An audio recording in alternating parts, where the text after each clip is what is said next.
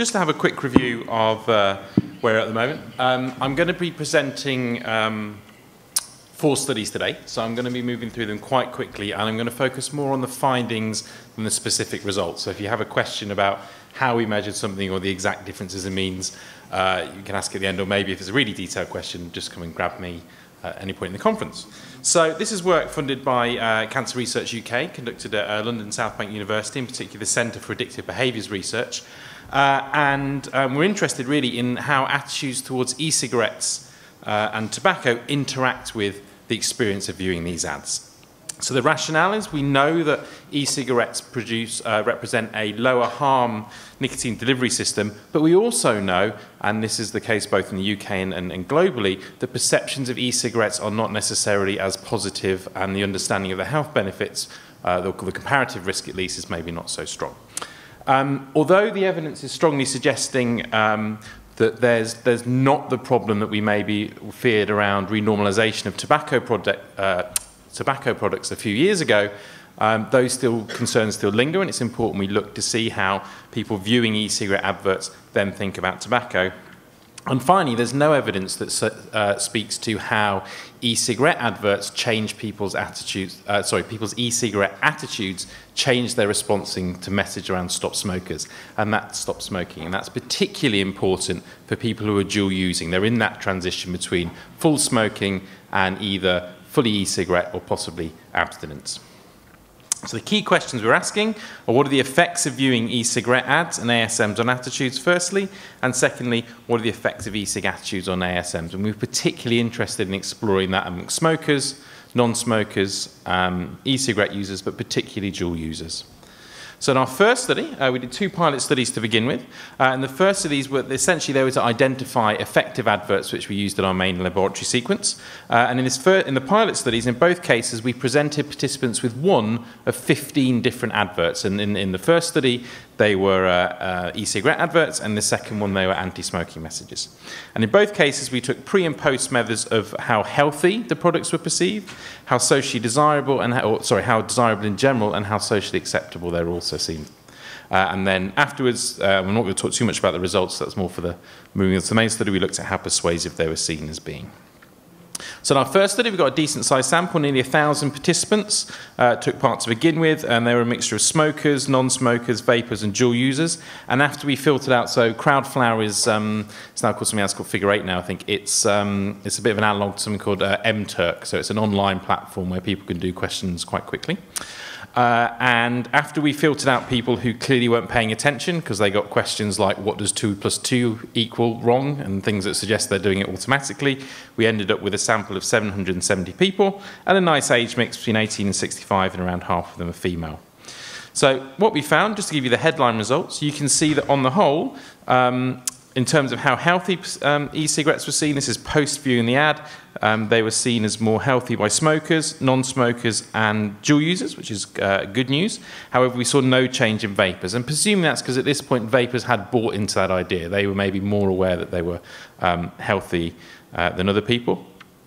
In terms of um, social acceptability, we didn't see much action. What we did see, though, is actually non-smokers perceived e-cigarettes as being less socially acceptable post seeing the advert. And that could have been a function of some of the ads that we saw. If you remember the early phase of e-cigarette ads, uh, some of them were quite um, bawdy and had some sort of sexually explicit content, and um, were some of them were just downright misogynist, to be honest with you. Um, and I think that that probably changed as that the advertising matured a little bit, but that could explain that finding. And then finally, in terms of how desirable the products were, we saw an increase amongst non-smokers and also amongst dual users. So that's the pattern of results we found around e-cigarettes. We did the same thing looking at tobacco ad, uh, attitudes, and here what we saw that when people saw those um, e-cigarette ads, actually for the health benefits there was very little increase with the exception of dual users whose perception of how healthy um, tobacco uh, products were actually increased, which is quite important when you think we're seeing these things as a pathway to harm reduction. Um, I suspect we didn't see much movement on the uh, smokers, non-smokers and vapers because we there wasn't much place to go. We had a lot of floor effects, as you'd imagine. In terms of how socially acceptable, um, it seemed that uh, tobacco was seen as less socially expect, uh, acceptable amongst non-smokers and vapers, uh, and vapers also saw, um, and smokers both saw uh, tobacco products as less desirable. So on the whole, a pretty comforting picture for the effect of those e-adverts uh, from a harm reduction perspective. So just to sum up, it seems that e-cigarettes, that first ones, do their job of increasing the desirability of e-cigarette projects. That's why the money is spent on marketing. But they also appear to make e-cigarettes appear more healthy, but we saw little effect on how socially acceptable they were. Um, we had little effects of uh, e-cigarette ads on um, tobacco products, which is uh, probably due to those floor effects. And finally, it seemed that um, there was a decreased desirability of tobacco products among smokers and vapers and around the socially acceptability as well. So that was what we found with the e-cigarette adverts. We then did the same methodology applying it to anti-smoking messages. And again, we got a decent sized sample, 990 people, ended up with 908 of them, and a good mix of smokers, vapers, non-smokers, and dual users. And we did exactly the same methodology. What do we find there? Interestingly, less differentiation between groups. So for e-cigarette um, attitudes, uh, people saw um, uh, e-cigarettes as being less healthy, less desirable, and less socially acceptable after seeing um, the uh, anti-smoking message. And tobacco products were seen as less healthy, less desirable, and, and uh, less socially acceptable over time after seeing that stop smoking message as well. And those changes in time were reasonably consistent between all the groups. So, um, have we got about five minutes left? Three, okay. Um, so we'll whiz through our laboratory studies now. Um, there's a little bit less to talk about there. Um, so essentially what we did here was we brought it into the lab. We had a little bit more problems recruiting because people had to come in quite a lot. Um, so in our first study, we had uh, only 125 people, uh, and we're really going to be focusing on the smokers and the non-smokers because of uh, how our cell sizes ended up. And essentially, we got people in and we did some baseline measures. We took the demographics, their smoking history, things like that, uh, and their baseline attitudes.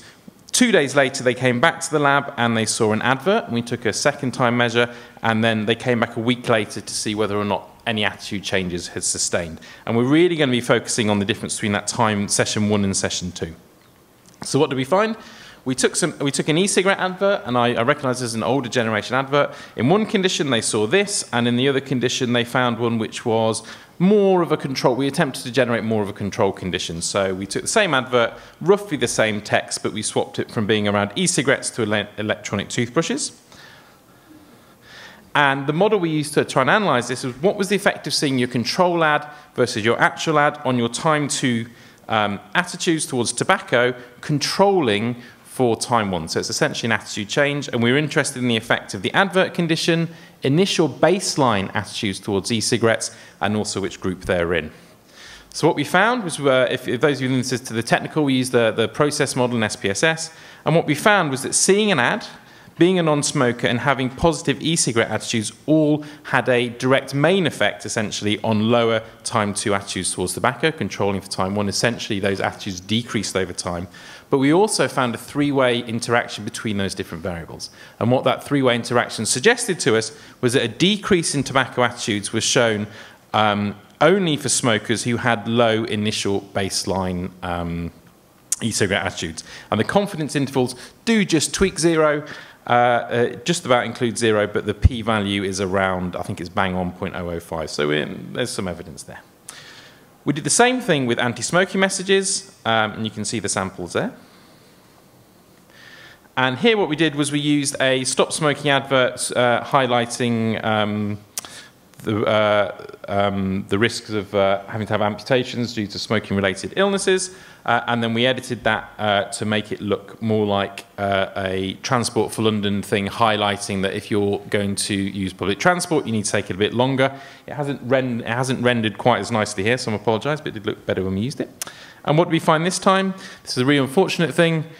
Uh, oh, let's get to that in a sec. So we did a little slight tweak to the, um, the design because we had such problems with retention. Our first study, we, we put the first and the second set of measures on the same uh, day, and then they came back a week later.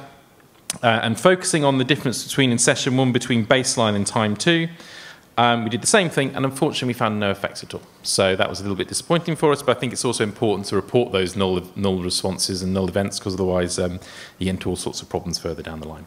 So pulling it all together, in terms of e-cigarette adverts, um, slightly reassuringly, perhaps, we didn't see, uh, we saw only very limited evidence that e-cigarette ads um, would promote positive attitudes towards um, e-cigarette, towards tobacco products, but the notable exception around that is around dual users. So we have to be quite careful about when we're thinking about regulation around e-cigarettes, if there's anything we can do around that. Uh, and uh, on the whole, though, we observe many more positive effects suggesting that e-cigarettes make tobacco products seem less desirable. So there's not this spillover effect that e-cigarette adverts make tobacco adverts seem, uh, tobacco products seem better. In terms of anti-smoking messages, our pilot at least showed that anti-smoking messages decrease attitudes towards tobacco products, which is probably unsurprising. There's been an enormous amount of research optimizing those particular campaigns to make them work. But we found, and I think this is really the take home message from my talk, we did see an unintended effect of decreasing the attractiveness of e cigarettes um, for smokers and dual users, which is a bit of a problem. If you've got people and you want them to moving on to e-cigarettes, but your anti-smoking or your uh, stop smoking promotional materials decrease the attractiveness of those, that's a real challenge and something I think we should be thinking about. But to note, we didn't replicate that in our less well-powered um, lab study. Uh, so just uh, thank, um, well, this is the research team, myself, Ian Albery, Paula Booth, and Sharon Cox. And I'd also like to thank Lancashire NHS Research Department, who helped us with the recruitment.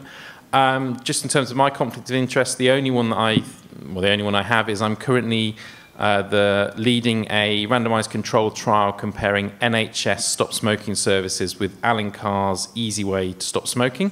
Um, and that's funded by Alan Carr, but we're independent of that and we are contractually free to publish the results, which we're going to be doing in the next six months or so, so keep your eye out for that.